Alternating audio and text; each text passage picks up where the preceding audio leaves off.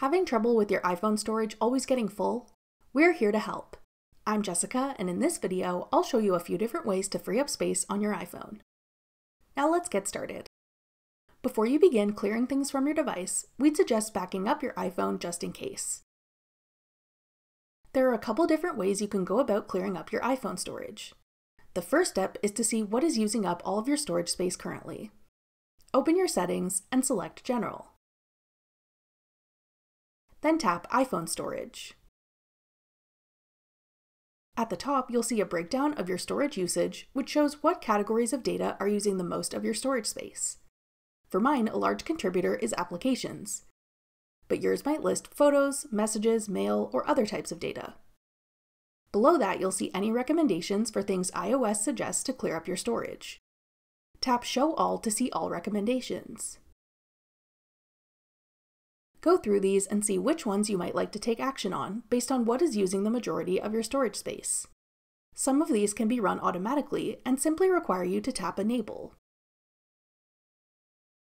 The other option is to manually go through your device and delete things you don't need. This might include deleting photos or videos from your device, deleting apps you don't use, deleting old emails, etc. To give you some guidance on which apps you should look through specifically, Scroll down on your iPhone storage page in your settings to see which apps are using the most storage space. You can tap an app here to manage storage if applicable, like with the Messages app or Photos. You'll also see options to offload an app, to remove the app but keep its data in case you want to re-download it later. Or delete the app and its data if you need more space freed up. Once you've gone through and deleted all the unnecessary data from your device, go back to your storage settings page and see how much room has been made in your storage.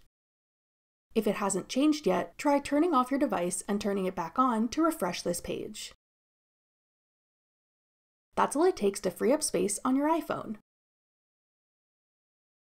If you're looking to manage your iCloud storage space rather than your iPhone's local storage, check out this tutorial next.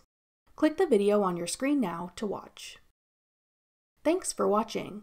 If you found this video helpful, we'd love it if you'd hit the like button below and subscribe to our channel. We put out great new tech tutorials like this one every day.